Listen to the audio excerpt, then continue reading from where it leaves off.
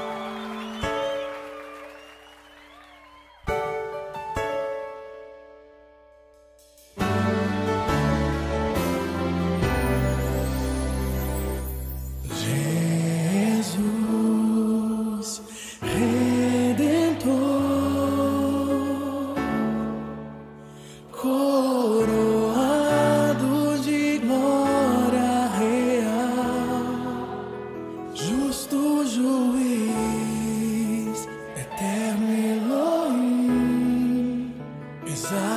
expressão da